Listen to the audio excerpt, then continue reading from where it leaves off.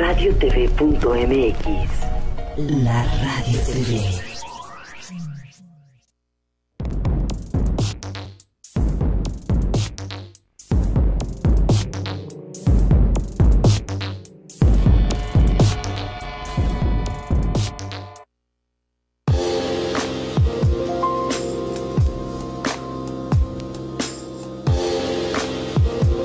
RadioTV.mx presenta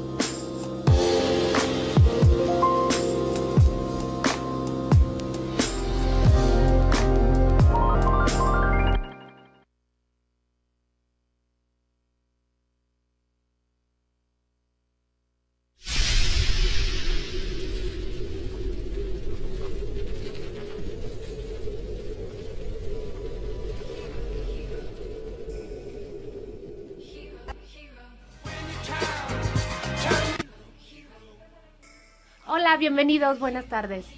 Hola, hola, ¿cómo estás? Buenas tardes, Liz. Eh, aquí, este, peleándome con la pantalla que no me veía. y yo señalando, eh, aquí estamos. Bienvenido otra vez a tu programa Coaching al Desnudo, el espacio honesto del coaching con Lice Camacho.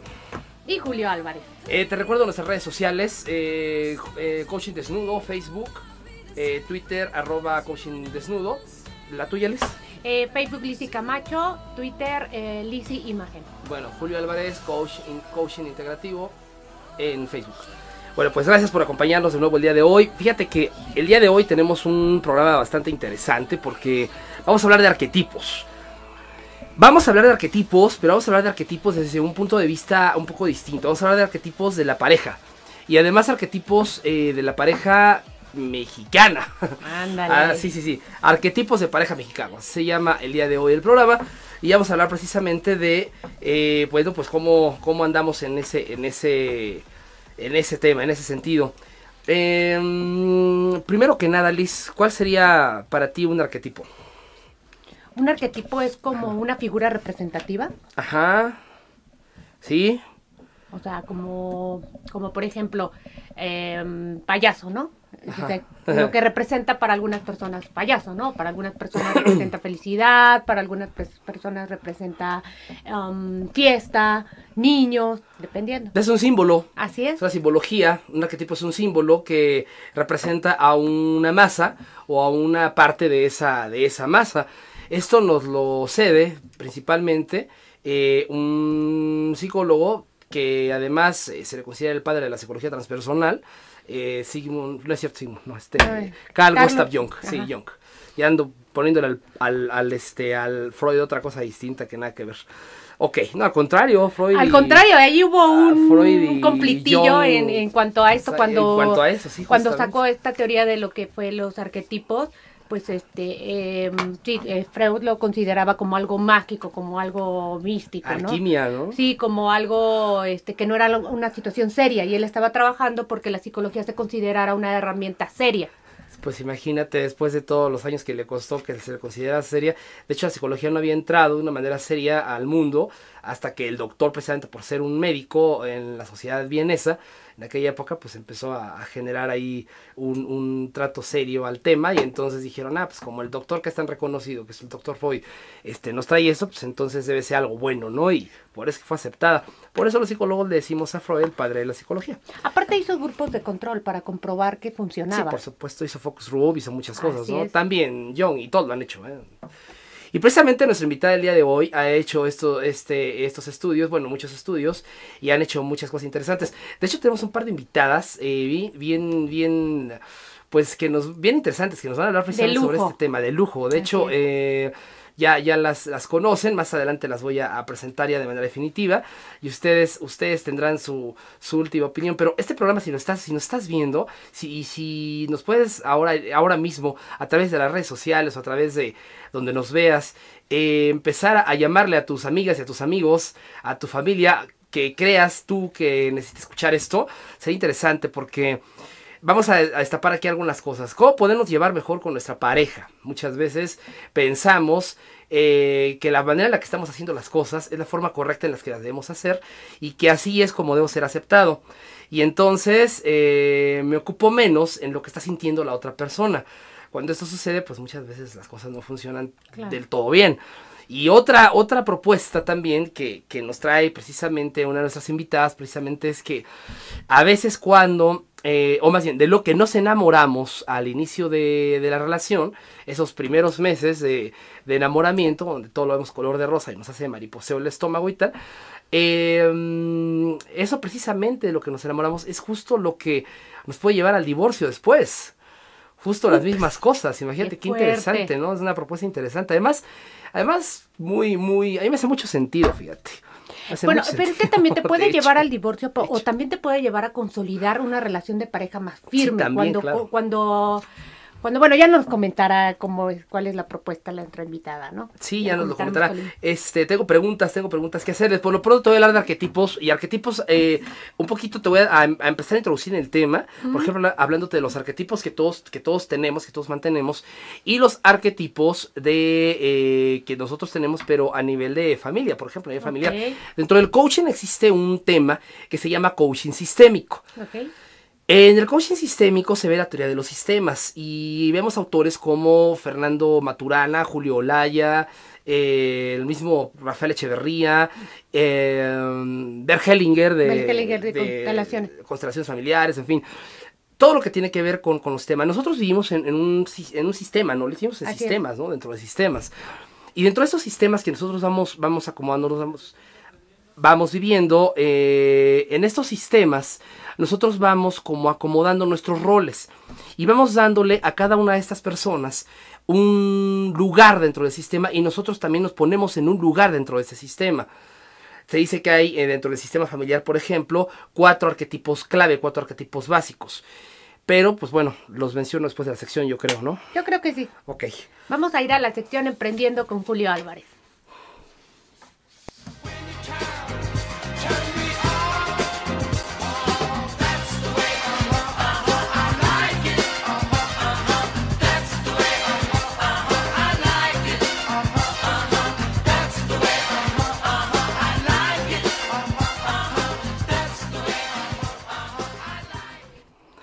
Y bueno, qué mejor, qué mejor tema que emprendiendo, pero emprendiendo desde la pareja. Como vamos a hablar de, arquetipos mexicanos y vamos a hablar de arquetipos de pareja también, pues qué mejor que emprender desde pareja. Fíjate que este tema es bien interesante porque resulta que nosotros cuando, cuando tenemos, en México de hecho se da, fíjate, te voy a dar un dato.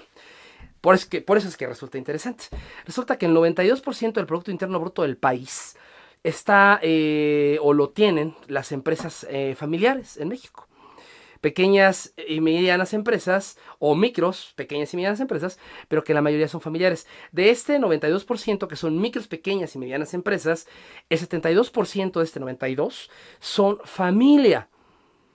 Y muchas veces estas, estas empresas familiares, que repito, se da muchísimo en, en, nuestro país y en, en Latinoamérica sobre todo también, eh, resulta que son eh, generalmente el patriarca del, del, hogar o la matriarca del hogar comienzan iniciando estos, estos negocios.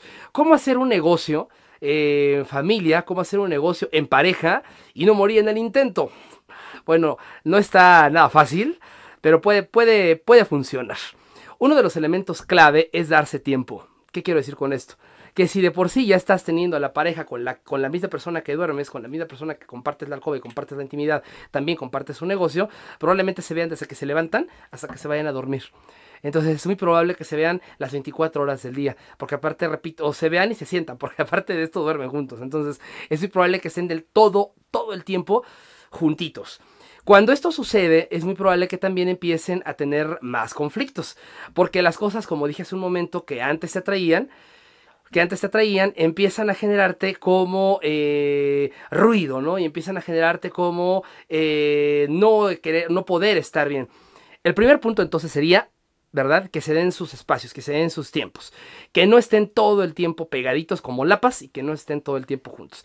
El segundo punto sería, aparte de eh, que están trabajando juntos, separar una, esto es lo más complicado del, asunto, separar la parte del negocio con la parte eh, de relación, con la parte de, en donde tienes tú una relación con esta persona. ¿Cómo puedes hacerlo de una manera sencilla? Bueno, date horarios yo sé que también esto puede ser complicado, pero al proponer horarios eh, de qué, en qué momento vamos a hablar de trabajo, en qué momento vamos a estar trabajando, cómo vamos a hacer este trabajo, puede significar que tengas durante ese periodo de tiempo a la persona profesional contigo y respetar esa profesionalidad, que es el tercer punto. Entonces, vamos a darnos espacios, vamos a dar nuestros tiempos y vamos a darnos al menos un día a la semana en donde no tengamos que estar juntos. Puede ser el sábado, puede ser el domingo, puede ser cualquier día de la semana, pero que no tengamos que estar juntos. Esto, esto no solamente te haces a ti sentirte mejor y estar y sentirte un poco más en libertad de poder seguir tomando decisiones, sino pues, obviamente evitas el aburrimiento y evitas los conflictos de pareja. El tercer punto es el respeto, les decía. El respeto tiene que ver con, como dice el viejo y conocido, y conocido refrán, el, el respeto llega cuando, eh, tú cuando tú respetas o cuando tú estás en el lugar donde yo estoy y cuando yo estoy en el lugar donde tú estás. O sea, vamos a ponernos, vamos a ser empáticos, sería como una de las primeras partes, y una de las segundas partes sería que tus derechos llegan hasta donde comienzan también los míos. ¿De acuerdo? Entonces vamos a irnos respetando, vamos a irnos separando una cosa de la otra y vamos a irnos dando estos días y estos espacios para poder generar un mejor negocio, sobre todo si tienes un negocio donde tengas que estar o debas estar con tu pareja. Hay otros puntos, los vamos a ir destapando un poquito más adelante, pero por el momento con esto te dejo pues para que los tengas ahí como tips y te sirvan si es que tienes, repito, un negocio con tu pareja. Gracias, nos vemos en la próxima.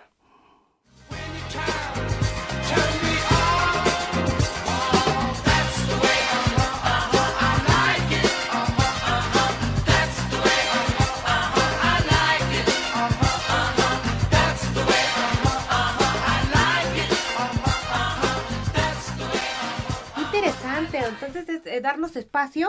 Este, tenernos, eh, tenernos este, el respeto, Liz, eh, darnos el espacio, eh, darnos el día. Establecer horarios. Establecer horarios. Son varios puntos, ¿no? Yo lo resumí en tres, en tres momentos nada más, en tres eh, puntos nada más, pues son como varios elementos los que pueden eh, apoyarte para que no tengas tantos problemas cuando inicias. son complicados todos, porque si estás viviendo con la misma persona con la que estás haciendo un, un negocio o tienes un, una relación de trabajo, pues bueno, eh, muchas veces puede, puedes estar, como dije hace un momento, ¿no? Tan pegado que de repente te aburras, ¿no? De repente empiezas a verle cosas que no le habías visto, ¿no? Claro, oye, y recomiendas... O luchas de poder, se empiezan ahí también. ¿Recomiendas algo así como, por ejemplo, si, si yo estoy estableciendo con, con mi pareja, estoy trabajando con mi pareja y estoy estableciendo un horario y de repente es complicado, ¿no? Por ejemplo, ya estoy en la intimidad de mi casa y ya estoy viendo la televisión y de repente, oye, ¿mandaste el correo? Ajá, eso es súper común. No, y de repente, por ejemplo, las, las organizaciones sabemos que, por ejemplo, tienes un, un una reunión, ¿no? O sea, pero pides la reunión. Es, es, decir, eh, oye, ¿qué tal si el martes a las 5 de la tarde vemos, hablamos sobre este tema y tal? lo, ah, pones con seriedad, ¿no? Pero de repente, cuando estamos trabajando en, pareja, estamos en la misma oficina, en el mismo lugar, de repente así, sin más ni más, estás ocupado y llega la pareja, puede ser hombre, puede ser mujer, puede ser cualquiera de los dos. Claro. Estás, estás ocupado, ocupado, haciendo algo, mandando algún correo, haciendo seguimientos, este, haciendo tu trabajo, trabajando en ese momento en tu oficina, y, y, llega la persona, oye, fíjate que quiero ver este asunto contigo, ¿no? Y pa, pa, pa, empieza, ¿no? Y así, eh, espérame tantito, estamos, este, yo estoy ocupado, estoy ahorita, estoy en una llamada de venta, ¿no? o qué sé yo, ¿no? Y de repente te, te caen así, ¿no? Entonces, todo ese tipo de, de, elementos que los consideramos como comunes, porque al fin y al cabo estamos aquí, no seas Pero llega, llega, a agotar, llega a agotar la relación, pues llega a desgastar la relación. Se desgasta, de hecho, ¿no? A nivel de emprendimiento, a nivel de renegocio, a nivel de, de establecer un negocio juntos, sí puede ser un, un sueño y el sueño se puede convertir en pesadilla si no los... Can, can, can. Sí, sí, sí, si no, si no lo acomodas, si no lo acomodas. O sea, hay que llevarlo como si fuera un trabajo, sí, de hecho debería ser así, formal y darle la seriedad que necesitamos. O, sea, tener un horario de tal a tal hora y, si me quieres para un tema, pues eh, nos ah, eh, hacemos una agenda. O sea, el martes a las 5 de la tarde nos vemos para esto. El martes a las 4 de la tarde, por ejemplo, nos vemos para coaching al desnudo. ¿no? ok. no, por ejemplo, no vamos a ver el programa juntos de coaching al desnudo porque nos conviene, porque somos una pareja. O sea, de eso se trata, ¿me explico? Claro. Es como darnos ese espacio y ese respeto unos y otros. Y bueno, respetar los roles. Precisamente, Liz, antes de irnos a, este, corte, ya mencionaba los arquetipos. Entonces imagínate los diferentes arquetipos en sus diferentes momentos. Los voy a mencionar. Por ejemplo, eh, el arquetipo, son cuatro arquetipos básicos a nivel de familia y cuatro arquetipos básicos también de hombre y de mujer a nivel de eh, arquetipos en coaching, que lo conocemos en sistema, y vienen basados en los arquetipos de Jung. El, el primer arquetipo es, eh, ¿qué te gusta? ¿Cuál ponemos primero? ¿El amante? El amante. El amante, la amante. Y luego tenemos un segundo arquetipo que se llama el mago, Hechicera. la hechicera. Y tenemos un tercer arquetipo que se llama el sabio. La sabia. Y tenemos un cuarto arquetipo que se llama Guerrero. la el guerrero, en este guer- caso. Guerrero. Y Guerrera. la guerrera, ¿verdad? La, la guerrera y el guerrero. Entonces imagínate, vamos a hacer una combinación ahí, ahí simpática. ¿no? Imagínate, por ejemplo, que estás en tu trabajo. ¿Cuál necesitas?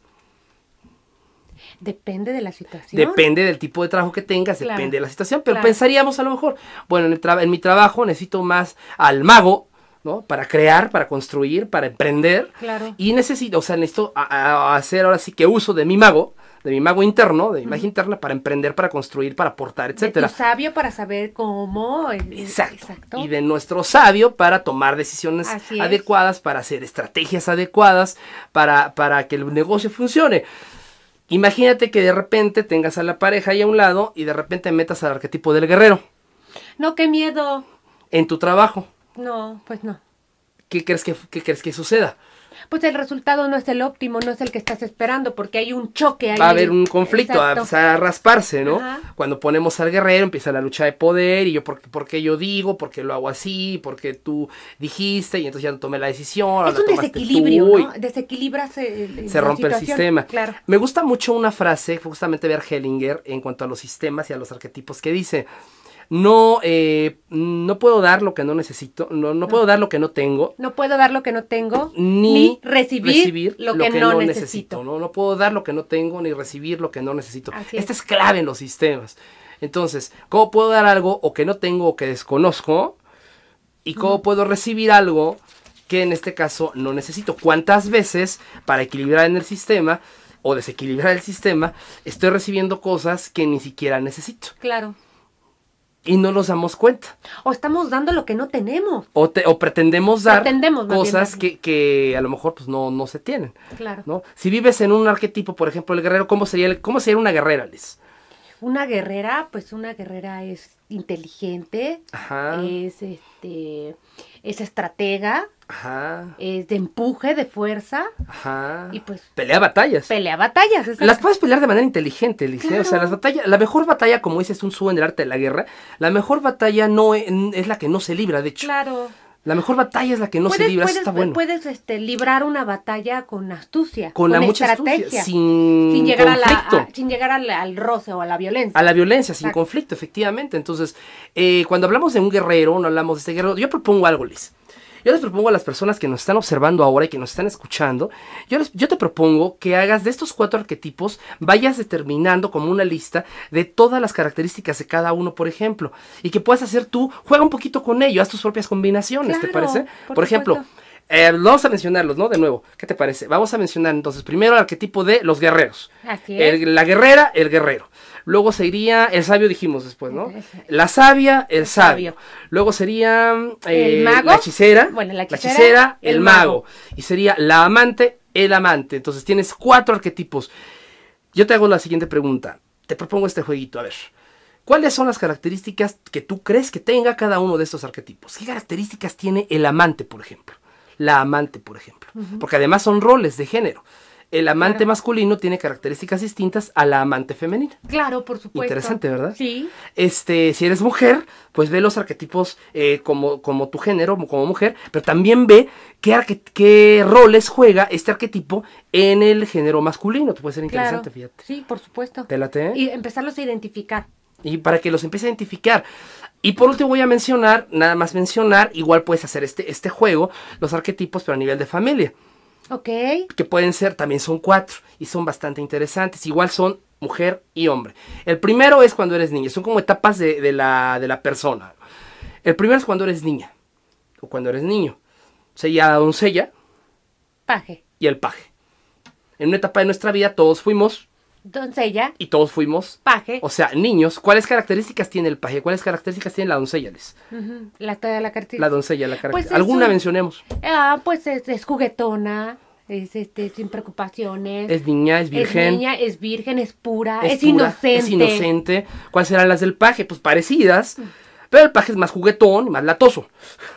Sí, sí, sí. Un poco más, ¿verdad? La testosterona masculina, a lo mejor sería el cambio, pero básicamente se parecen. Luego, el segundo arquetipo sería la cortesana Sí, y el, caballero. el caballero, ¿no? Entonces, la cortesana y el caballero, ¿qué hacían las cortesanas en, en los, en los castillos de los reinos? Pues estaban al servicio, ayudaban a las princesas a vestirse, ayudaban en la cocina, también a veces pues eh, visitaban las alcobas de los caballeros o de los reyes. Eran el servicio. Entonces, Así es. finalmente la cortesana brindaba diferentes tipos de servicios. es. Desde ser una dama de compañía de la princesa o de la reina hasta hacerle favores al rey. Y también hacían muchas otras cosas. Estaban en la cocina, limpiaban platos, hacían miles de cosas. Hay una etapa en la vida de la mujer en la que es cortesana. Claro, Hay una etapa en la vida de la mujer en la que es cortesana. Hay una etapa en la vida del varón en la que es un caballero. ¿Cuáles son las características de un caballero, Liz? pues un caballero es conquistador, anda conquistando damas por Y el peleando camino. batallas. Peleando batallas. Pero las batallas que no son suyas. Así es, está, está peleando por eh, las, las batallas del rey. Está peleando las batallas del reino. Así es. ¿Verdad? Y anda conquistándose, dicen la las cortesanas, ¿no? Está en la conquista, el caballero está en la conquista, es una etapa en la que está en la conquista, entonces todos los varones pasamos por esa etapa, andamos conquistando reinos, conociendo reinos distintos, no buscamos todavía el nuestro, andamos en otra, en otra historia, ¿no? Así es. Luego tenemos a eh, la princesa La princesa y el príncipe. y el príncipe, ¿cuáles características serían principalmente de la princesa y el príncipe? Bueno, la princesa es este caprichosa. Puede ser. Es egoísta. Más egoísta. Es egoísta, caprichosa. Se centra mucho en lo que es la belleza física y lo que es, es la retribución hacia ella misma. Y ya no da su amor a cualquiera, la princesa no o el príncipe, ya no da su amor a cualquiera, ya están buscando un reino. Así es. Como ya están buscando un reino, ya no dan su amor a cualquiera, son más selectivos. Y por último tendríamos a la reina Y el rey. y el rey. ¿Cuáles serían las características de estos, de estos arquetipos eh, de la familia, Alice? Bueno, la reina es conciliadora, la reina es amorosa, la reina ve por el reino, ve por el rey también, está ocupada en por el ella reino. misma. Claro. Y el rey, pues, es, es, es proveedor y es- tiene un, tiene, funge con ciertos roles masculinos. Bueno, con todos estos juegos, ahora te los mencionamos rápidamente. Doncella, paje. Cortesana, caballero. Princesa, príncipe, Príncipe. y Reina, y rey. Y, rey. y reina y rey. Entonces, como ya te tienes ahí todos los arquetipos, busca las características de cada uno de estos arquetipos, obsérvalos y haz tus propias combinaciones. El otro día me llegó a, a- a sesión una persona que me decía, oye Julio, yo no tengo muy buena relación con mi, con mi pareja, ¿no? Y le decía yo, bueno, pues eh, vamos a, en esta cosa de los arquetipos. Dije, bueno, ¿cuál es tu, cómo te estás tú comportando? ¿Cómo te gustaría tú comportarte? ¿Cuál es tu comportamiento hacia el mundo de manera exterior? ¿Y cómo te estás tú comportando? Entonces me decía ella, bueno, mira, yo me comporto, me dio todas las características de cómo se comportaba. Descubrimos que tenía un comportamiento de cortesana, pero ella quiere ser reina. Y entonces, si no te estás comportando como reina, pues entonces tendrás un trato de cortesana. así es. Interesante, ¿no? Pero puede ser reina. Claro, por supuesto. Entonces, pero eso tendrías pues tú que llevar justamente a este lugar. Primero tendrías que aceptar el arquetipo en el que estás, en el que estás viviendo en este momento, Claro. para poder evolucionar. este, para poder evolucionar y estar y, e ir pasando a, a otros tipos de arquetipos. ¿Cuántas veces tú, que eres una reina, te encuentras un caballero? Porque además a la chica les gustan los chicos malos, Liz. Les gustan los caballeros, o sea, que las anden conquistando y todo. Entonces, y se dan cuenta que sí son y que así es, ¿eh? Y de repente, un tiempo después, dicen, se sienten engañadas o frustradas porque el caballero no es un rey. Claro, Pero el, el hombre nunca ha sido un rey. Y no ha estado en ese momento de rey. así es. Hay reyes también, pero luego los reyes no los aceptan. Lisa, platícame por qué. No, no, no, yo creo que sí los aceptan. Lo que pasa es que estamos como que en esa en ese en ese vaivén de soy soy cortesana o soy princesa o soy reina y entonces no te comportas como el arquetipo que te hace en este momento, ¿sí me explico? Entonces, como no te comportas en esto y estás pidiendo como la, re- la regla básica, no puedo dar lo que no tengo.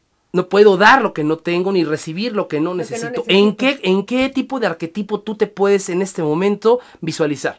¿Qué tipo de arquetipo es en el que tú eh, estás cayendo? Ya sea en tu trabajo, ya sea a nivel de pareja, ya sea a nivel familiar, en cualquier nivel. Imagínate que en la alcoba, en vez del amante, tengamos a la guerrera. No, pues no. ¿Qué No hay una comunicación eficiente. Va, va, algo va a pasar. No sé, haz las combinaciones que tú quieras hacer. Ya regresamos, vámonos a Cortelis, porque tenemos unas invitadas de super lujo. Esto nada más fue como la probadita, fue como el principio. Vamos a hablar de arquetipos mexicanos desde un punto de vista distinto, exclusivamente a nivel de pareja. Regresamos, gracias.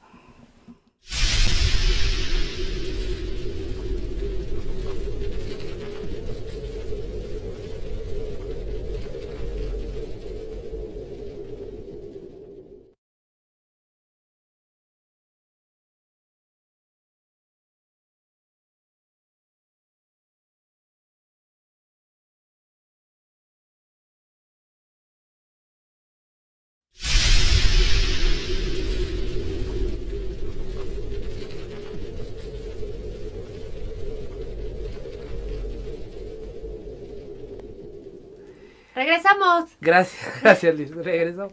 Este, oye, qué video tan bonito, ¿eh? Sí, está muy bonito. El mensaje que, que- que te envía está como súper claro. Eh, de repente nos estamos enamorando, pero muchas veces nos enamoramos de nuestras propias expectativas, ¿te das cuenta? Así es. De nuestras propias expectativas. Es como el autoengaño, ¿no? Sí, porque le pones, aparte de que nos enamoramos de nuestras e- propias expectativas, cuando hacemos esto le estamos dando la responsabilidad a la otra persona también. Sí, qué fuerte, ¿no? Sí, ¿no? Porque ti- te pones en tu pareja una expectativa súper alta con cualquier mínima cosa que no haga en- dentro de tus expectativas, se te va a caer Se el... te cae y luego, es, eh, y luego empiezas a sentirte triste o enojado, triste o enojada y empiezas a echarle la culpa, ¿no? A- Sí, pues le transfieres tu le responsabilidad. transfieres la responsabilidad a es la que pareja. tú debiste de haber hecho... Oye, espérame. Me debiste haber adivinado el pensamiento, Sí, ¿lo claro. entiendes? Todo el tiempo, además.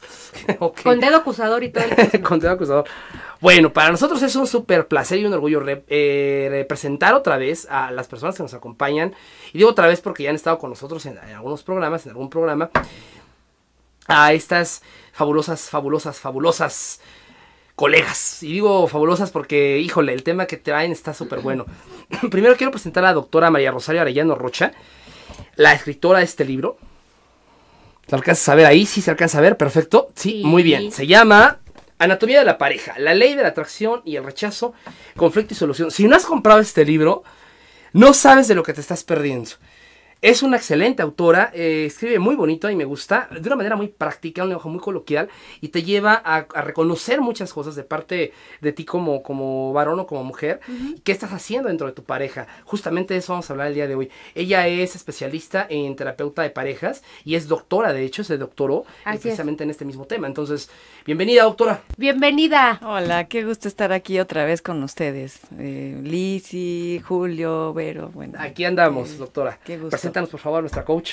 También tenemos eh, ahora nuestra coach, es nuestra coach de relaciones y sexualidad, que también es este parte de la familia ICS, Verónica Licón. Bienvenida, Vero. También, Muchas es, gracias. también eres este terapeuta, ¿verdad? terapeuta, psicóloga y bueno, ya sabes, ahí se Ya hace nada más de te todo. falta vender tamales los domingos, ok. No, y- lo- Bienvenida. Lo, que me encanta de Vero es que siempre, siempre está subiendo fotos a, a- a- a- a las redes sociales de todas las cosas que hace, es impresionante. Eh, ¿Cómo se llama tu, tu ¿Asociación? asociación? Es Jack Shield, Tu Ser, Desarrollo e Integridad. Sí. Asociación Civil, para que la busquen en Facebook. Sí, es, es lo que te voy a decir. O sea, danos bien los datos para que la busquemos en Facebook. Búscala en Facebook, de verdad, vale la pena.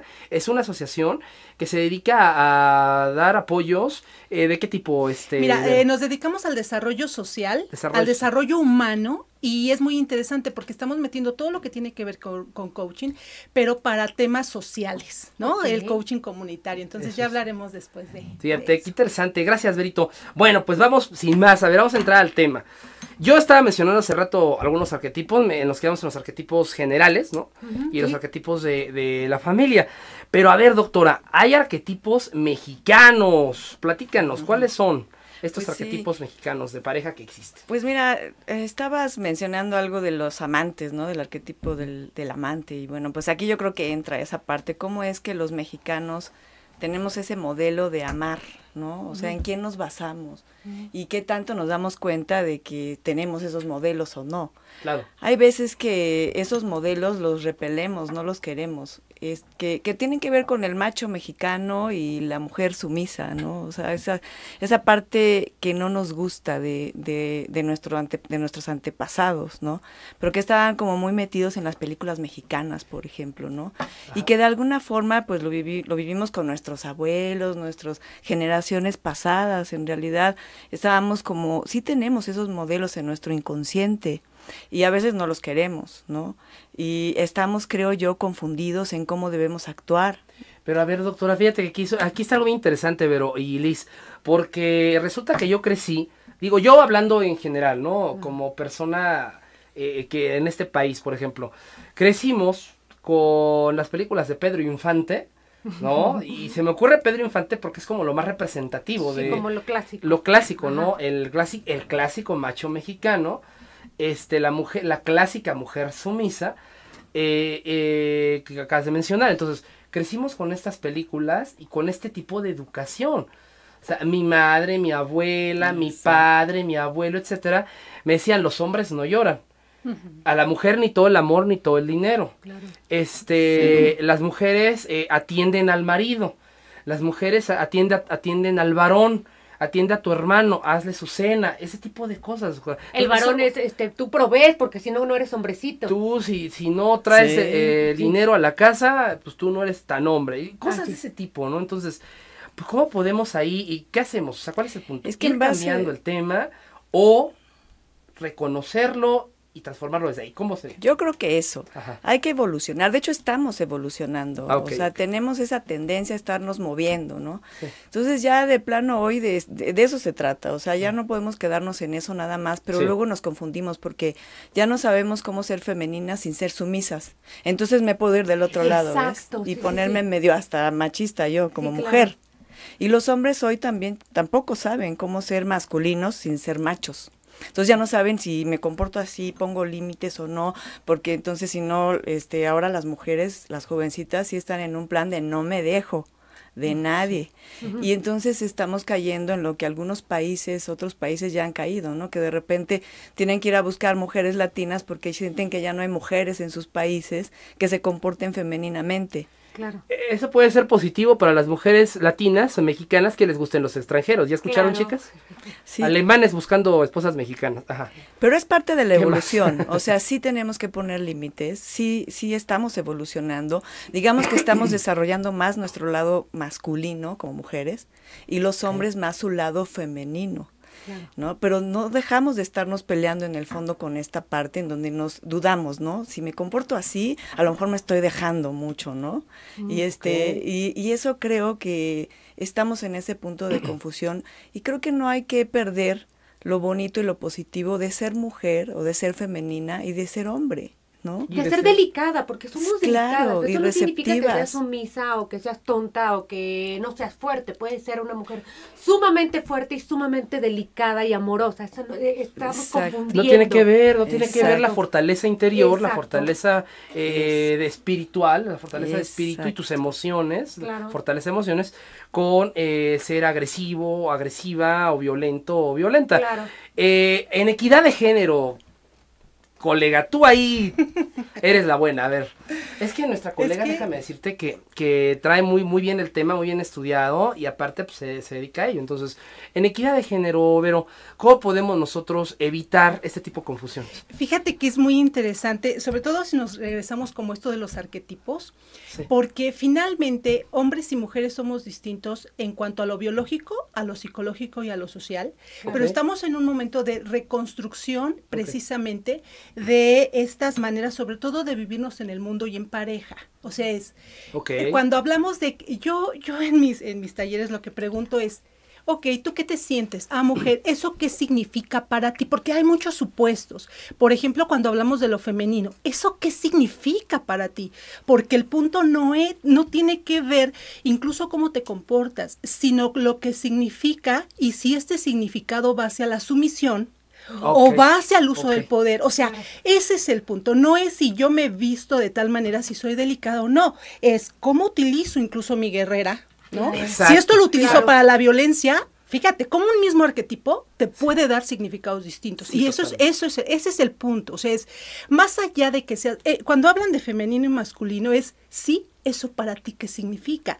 Porque desde ahí puedes trabajar. Si el problema es si esto a ti te significa y te conecta con un arquetipo donde la mujer ha sido victimizada, por ejemplo, y entonces te pones a la Marga López y entonces Ajá. subes, ajá, y dices, a ver, espérame, no. O sea, es Claro. ese no es el Marga. punto. El punto sí. es de que si tú quieres vivirte como amante, como guerrera, como lo que sea, esto tiene que ver con un, con un ser como persona, como mujer, como hombre, ¿sí? Ajá, o sea, es, es que ahí se confunden. Femenina, entonces soy así toda reina, ah, ok, y también soy tonta. Fíjate, los arquetipos, Sí, por ejemplo, claro. las novelas ahora es impresionante, o sea, ahora ya no son las películas.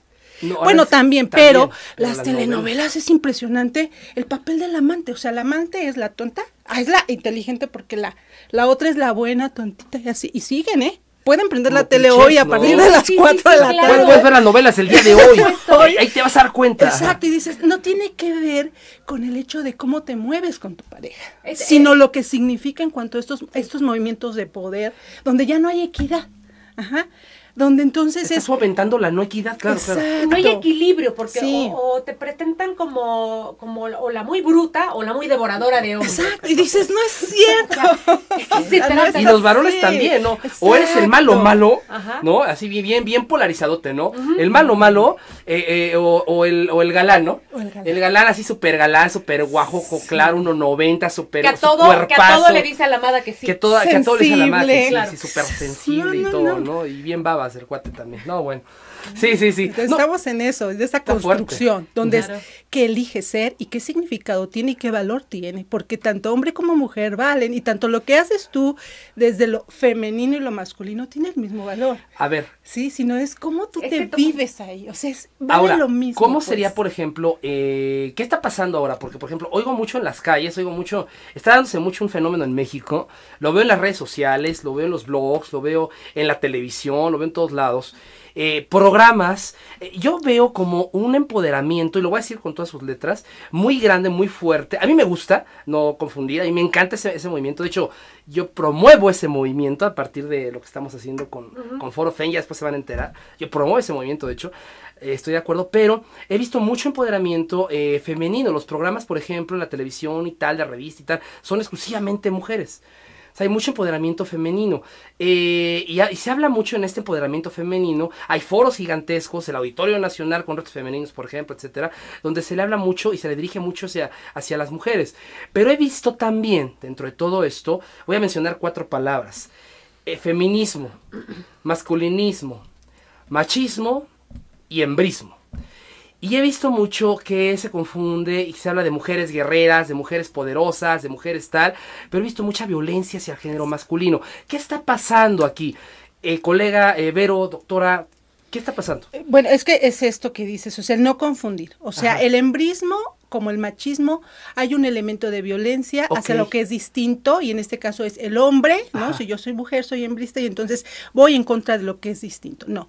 El feminismo y, por ejemplo, los, ma- los masculinistas hablan como de esta valoración del ser, de la persona, del hombre y de la mujer. Entonces, de entrada sí es distinto. O sea, el componente es este tema de violencia incluso, donde yo quiero ponerme en contra del otro y no.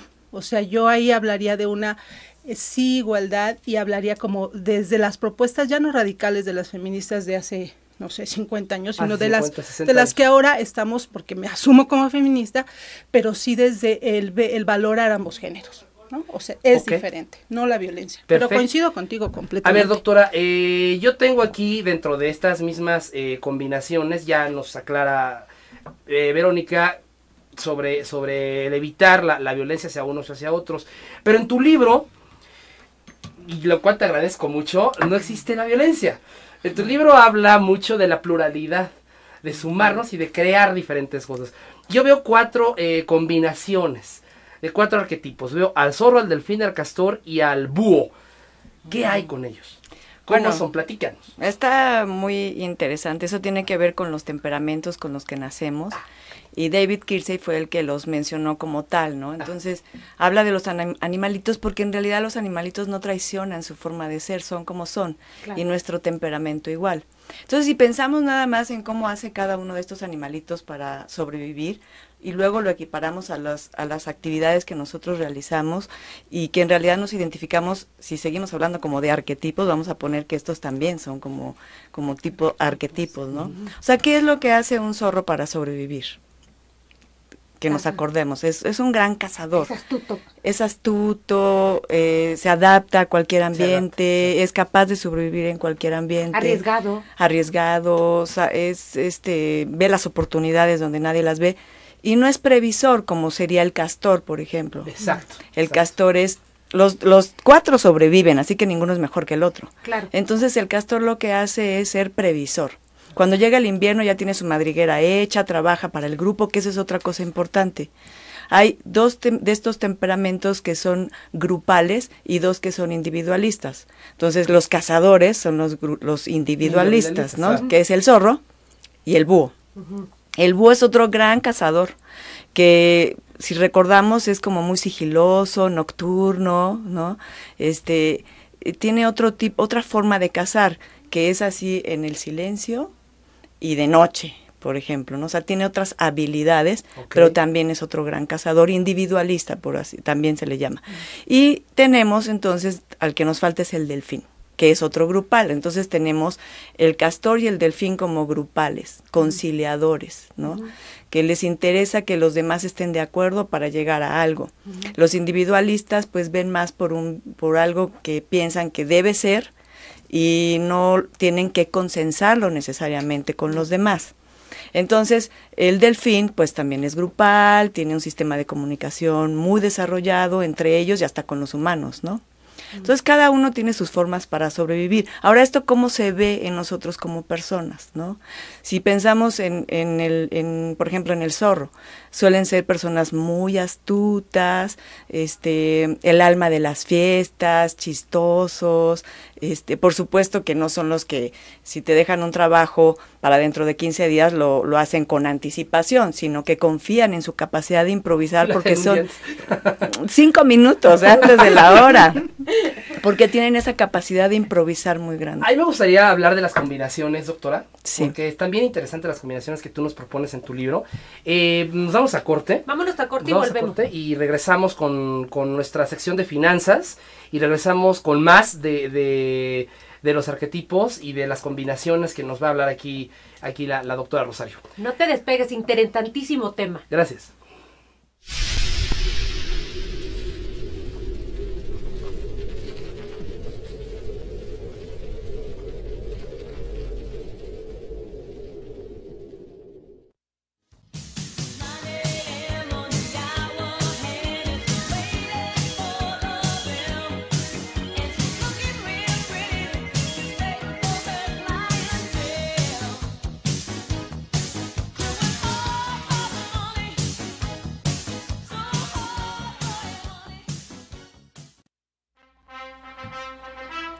¿Qué tal amigos? Muy buenas tardes. Hablando de pareja, eh, uno de los retos más interesantes y más grandes que hay es mantener una relación de pareja de una manera sana. El éxito en cualquier relación es mantener el mutuo respeto, así como mantener una relación abierta y honesta. Y en las finanzas también aplica lo mismo. Eh, si tú puedes mantener una relación eh, directa con tu pareja de cuáles son los planes financieros, va a ser mucho más fácil que esto suceda. Desafortunadamente, hay personas que evitan hablar francamente de cuáles son este, los temas financieros que desean mantener en su vida. Y esto propicia a que haya frecuentemente problemas de separación, de distanciamiento, peleas, resentimientos y hasta de divorcio. Una pareja, como bien dice el conferencista y autor de libros, el, eh, Jo- John Gray, autor de, las- de Los hombres son de Marte, las mujeres de Venus, son dos personas que tienen una historia completamente diferente. Diferente religión, creencias, ideales, ideales políticos, en fin. Y con todo esto pueden llegar a ser muy felices, realmente pueden hacerlo. De hecho, son las grandes diferencias lo que te, lo que te atrae a tu pareja. Sin embargo, son las similitudes los que te mantienen unidos a ella. Por lo cual, es importante que también eh, puedan mantener ciertas metas en común. Imagínate qué pasaría si en algún momento al unirte con tu pareja, uno de los dos desea crear una casa, hacer una casa, una familia y comenzar un hogar, mientras que la otra persona no le interesa para nada ello y lo que desea es ahorrar para gastarlo viajando por el mundo. Desafortunadamente, quizá uno de ellos debería de ceder a su sueño y por consecuencia molestarse. Sería algo muy triste. Por lo cual es importante que aprendan como pareja a hacer sus proyectos y planes financieros, ya sea que en un principio empiecen por distinguir cuáles son los planes de uno de los integrantes, del segundo integrante y como familia, que como pareja aprendan a priorizar si quieren una casa, un coche, un hogar, viajar, planes de jubilación, etc. Por lo cual te dejo esta herramienta muy útil. Siempre que vayas a iniciar un proyecto financiero con tu pareja y vayan a crear un fondo de ahorro, es importante que se planteen, número uno, qué cantidad de dinero requieren. Número dos, ¿para cuándo lo quieren tener? Número tres, cada uno de los integrantes, ¿cuánto va a aportar? Número cuatro, cada cuánto va a estar haciendo estas aportaciones. Y número cinco, y muy importante, específicamente en qué se va a utilizar este ahorro escríbeme con tu, eh, platícalo con tu pareja y escríbeme a mi correo o en Facebook. Me encuentras como Óscar Arturo Bringas López. Saludos y hasta la próxima.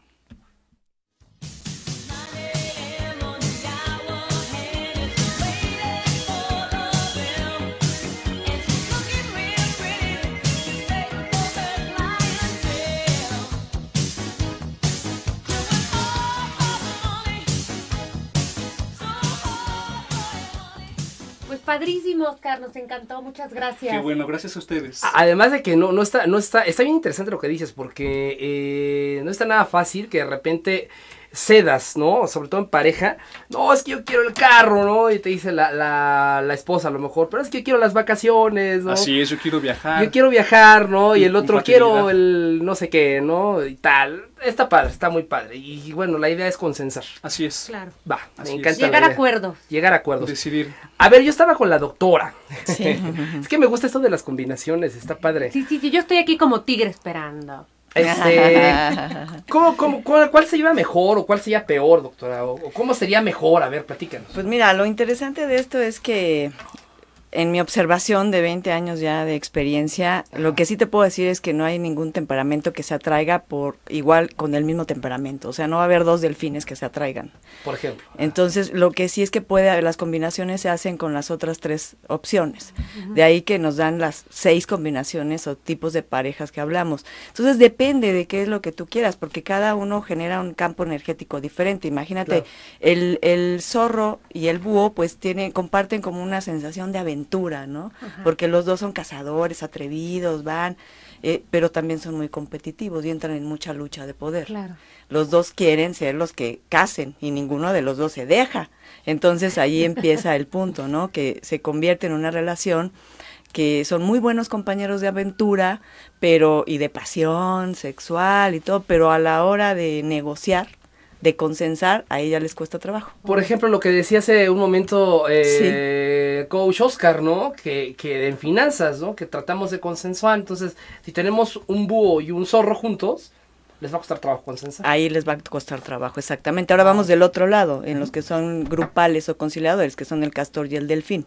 Entonces ellos son más conciliadores, pero ahí lo que te puedo decir es que no le entran luego mucho al conflicto, como que los dos ceden. Y, son esas parejas que dices, pero ¿cómo es que terminaron si se llevaban tan bien, tan lindos, ¿no? Pero en realidad el, el punto es que realmente dejaron abandonada la relación por temor a no consensar, imagínate. Entonces los extremos, exactamente, los extremos es lo que debemos de buscar, el punto de equilibrio en todo, ¿no? Pero cada una de las parejas tiene su, su, su qué, su reto, pues, ¿no? Su reto que salvar. Entonces, bueno, ahí nos fuimos a las dos polaridades, ¿no? De, de que consensan y de los que no. Pero luego también los puedes cruzar. ¿no? Ajá, O sea, un zorro con un delfín que suelen realmente sentirse muy, pero muy atraídos, ¿no? Porque uno es cazador y entonces el delfín lo ve así como, ay, poderoso, fuerte, así, de mucho carácter y así, ¿no? y, y, viceversa, el, el, zorro ve al delfín como cálido, lindo, o sea, con capacidad de amar y de mucha entrega, ¿no? Pero entonces a la hora ya de convivir puede ser muy apasionado, pero son dos mundos muy opuestos y los dos están queriendo jalar uno al agua del delfín Claro. y el otro a la tierra y entonces ahí empiezan las cuestiones. La- yo veo esto como retos para aprender y evolucionar, ¿eh? No Claro. creo que hay- una sea mejor que la otra, depende de qué es lo que quieras. He visto parejas que tuvieron como este una relación de mucho conflicto y de mucha confrontación y después buscan algo más tranquilo. ¿No? O al revés, algo muy tranquilo y de repente dicen, no, yo me quiero ir con Quiero el- la emoción. la emoción, ¿no? Quizás. Entonces depende del por eso es que hablamos, bueno, más bien hablo de los campos energéticos en, en, en- que se hacen dependiendo de la combinación, ¿no? ¿Cómo es que y qué quieres? ¿No? ¿En qué relación has estado? Hay personas que dicen, es que yo siempre me tropiezo con la misma piedra.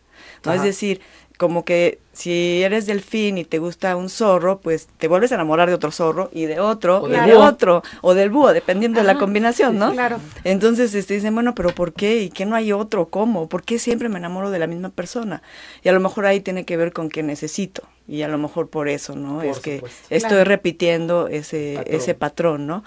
Pero la verdad es que podemos elegir, podemos elegir cuál es ese campo que queremos vivir, pero sin olvidarnos que todos van a tener un reto. Todos, no hay una relación que a veces tratamos de ver eso, ¿no? Es que me encantaría tener lo que fulanito y sutanita tienen, ¿no? Pero resulta que te- si te pasaras de ese otro lado, que yo como terapeuta de parejas tengo la oportunidad de ver, pues también tienen sus retos que, que Claro. enfrentar. Claro. Todas las relaciones. La tranquila tiene cosas que enfrentar. A lo mejor no tiene tanta pasión, por ejemplo. Tiene Eso otras sí, cosas. tiene Claro. otras cosas. Son Claro. buenos amigos, buenos compañeros, bueno, ¿no?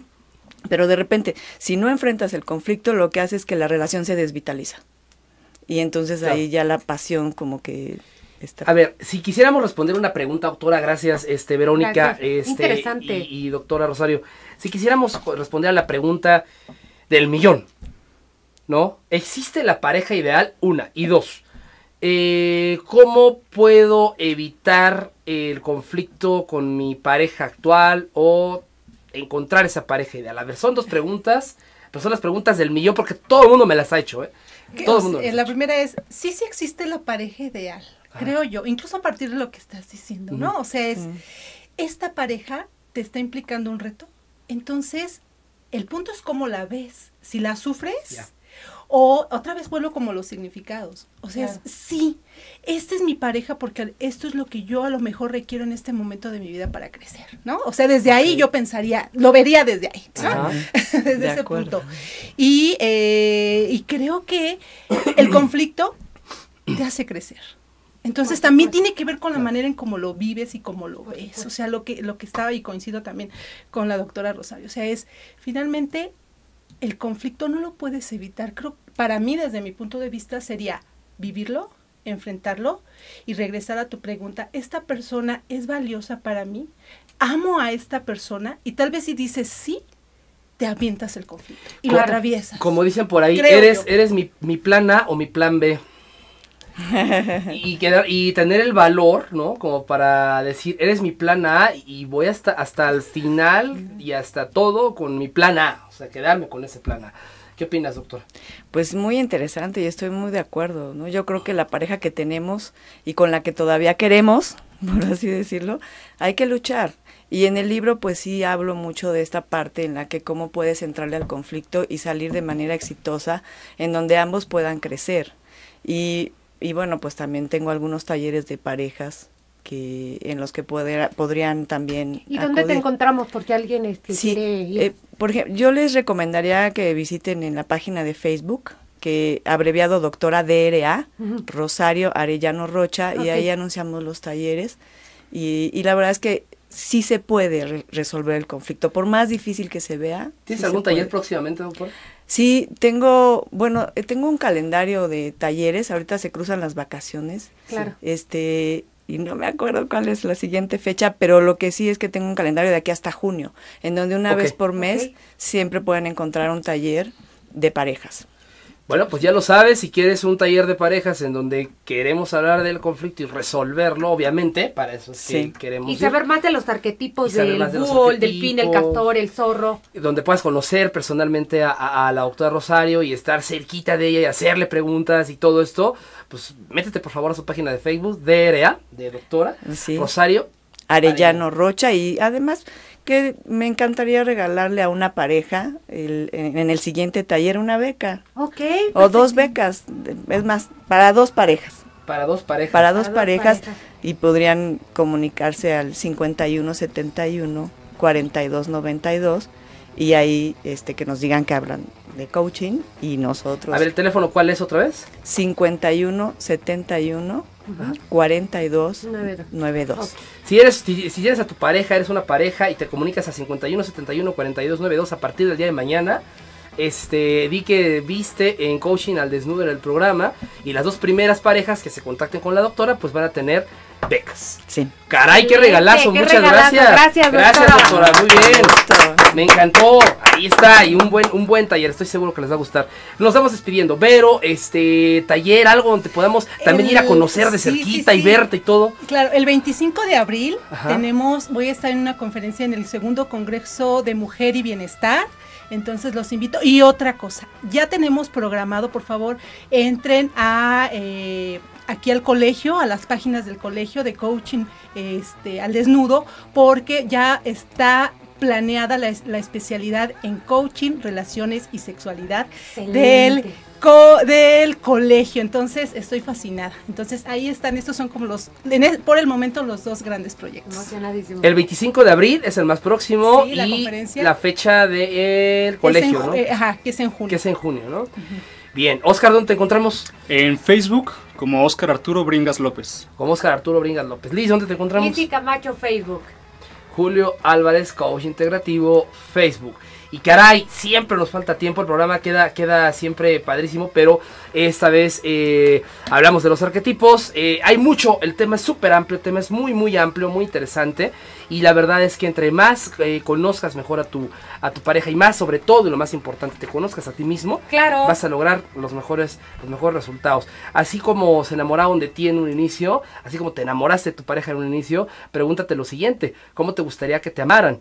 ¿Cómo le gustaría ser amado a tu pareja también? Y pregúntaselo. Claro, por supuesto. Y recuerda, no puedes dar lo que no tienes ni tomar lo que no necesitas. Gracias, coaching al desnudo. Nos vemos la próxima semana. Gracias, coaches. Gracias, gracias. Muy bien.